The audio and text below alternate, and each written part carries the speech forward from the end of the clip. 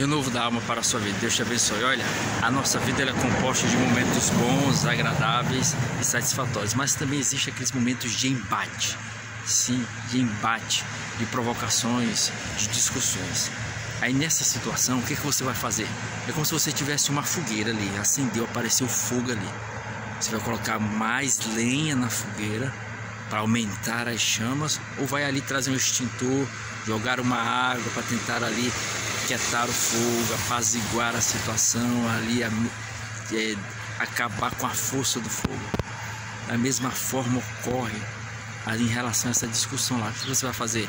Salomão diz, Salomão nos ensina o seguinte, Provérbios 15, verso 1. Olha, nesse momento, ele diz: a palavra branda acalma o furor, mas a insensata suscita ele. Então, seja alguém que vai pacificar, trazendo uma palavra de pacificação, tranquilidade, não aquela palavra de agitação para criar mais confusão.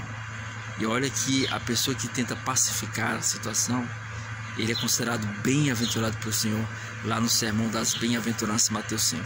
Bem-aventurados os pacificadores. Então, reflita acerca disso, Deus te abençoe, se inscreva no canal Renovo da Alma, ative o sininho, curta, comente, compartilhe e lembre-se, Jesus está voltando. Prepara-te, prepara-te. Ele está voltando. Cuidado.